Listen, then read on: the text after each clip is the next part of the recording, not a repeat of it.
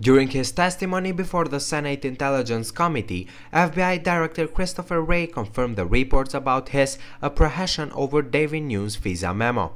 For the last few weeks, it was believed that Wray opposed President Trump's decision to release the memo, saying that it would give a partisan charge false narrative about malpractice within his bureau. The memo came up during a today's hearings on global threats to the United States, and Wray expressed his grave concerns about accuracy of the memorandum. Wray cited omissions as his top concern, explaining that he wasn't sure about thousands of sensitive documents and bits of intelligence could be sufficiently condensed into Nunes' brief memo. For the last several days, congressional Democrats have called on the Trump administration to let them release their counter memo, claiming it will add context to Nunes' findings and address the alleged misuse of FISA surveillance. Trump slammed the Democrats over their memo last week and wouldn't allow them to release it.